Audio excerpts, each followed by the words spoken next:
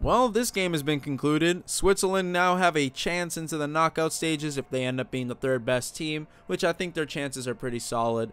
As for Turkey, this team just went out sad. I mean, my condolences to the Turkish fans. This was abysmal. This was not the same Turkey team that beat France, tied France in the same qualifier to get to this tournament. This is not the same Turkey team that absolutely demolished the Netherlands 4-2. To be honest, the Netherlands were lucky to even get those two goals in that match. This is not the same Turkey that absolutely came into this tournament being the dark horse. Dark horse? Man, this team was trash! And I'm gonna say it one more time for the people in the back. This Turkish team were garbage. This team was trash. Sorry. What the hell kind of campaign was this? And who the hell was responsible for this? Like, Turkish fans, if you're out there, let me know in the comment section below. Is it the coach? Is it the players?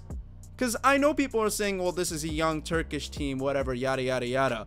But they still had some players who were supposed to be in their prime. Hakan Çalhanoğlu, he's 27 years old, in the prime of his career. And the guy was non-existent the whole tournament. Can you honestly tell me that you remember a moment that Hakan Çalhanoğlu did something special? Burak Yilmaz, 35 years old, had no service from anybody. All in all, the midfield was an absolute disgrace at this tournament. As far as their defense, I'm not going to go too hard on them. Because you know what? Demiral is 23 years old. Söyüncü is 25. Those guys, honestly, defenders for the most part get better with age. And honestly, by the time the next tournament comes along, the next Euros, Demiral is going to be 27. Söyüncü is going to be 29. At that point, we're going to be expecting more from this Turkish defense. And to be honest, I'm going to look at the Italy game as the catalyst to why this defense played as poorly as they did after the Italy game. It just seemed like the players were completely scarred from that match. I don't think they were really used to losing that bad. And as for the goalie, the goalie can only do so much. But to the midfielders and the forwards on this team, y'all were non-existent in this tournament. Completely non-existent, unimpactful, uninspiring, just overall horrible performance. But like I said, it's not like this team is trash on paper. So is it the coach? I don't know, guys. Let me know in the comment section below. But as for Switzerland, I mean, to be honest, this was a cakewalk for them. It literally, at no point did I think that Switzerland were going to lose from start to finish. It was a very easy game for them. I mean, Turkey went hard in the beginning. The first moments of the game were pretty much Turkey, especially the first 5-10 minutes. But like we've seen in this whole tournament, they just never look like a threat whatsoever. I mean, shit, I even gave this one player, Haris Seferovic, so much shit for the last few matches that he's played. He's been non-existent in how bad he's been. But man, you guys made him look like he was world class. And look, to be honest, that was a good goal, point blank period. Haris Seferovic definitely performed in this game. I can't say anything bad about him in this one. He definitely did his thing.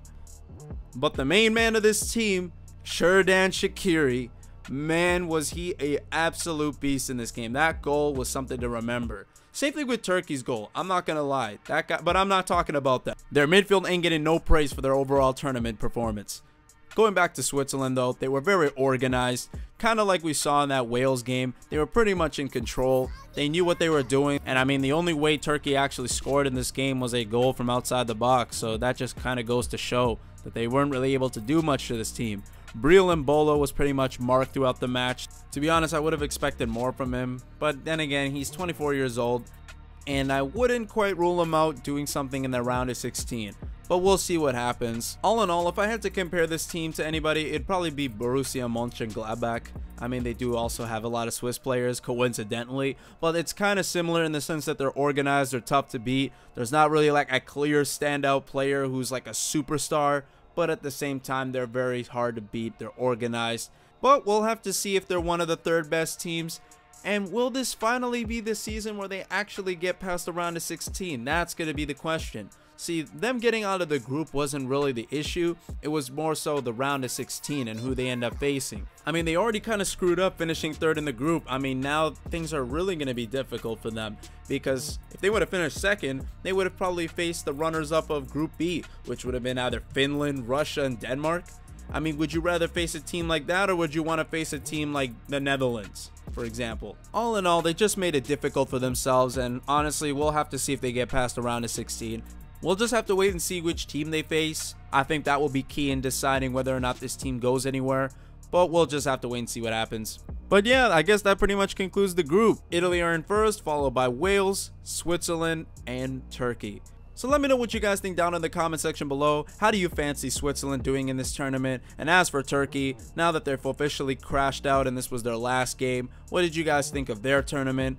Let me know down in the comment section below. But with that being said, that's going to conclude the video. Thank you guys so much for watching. Be sure to like, share, and subscribe. And I will see you guys in the next video. Peace out, guys.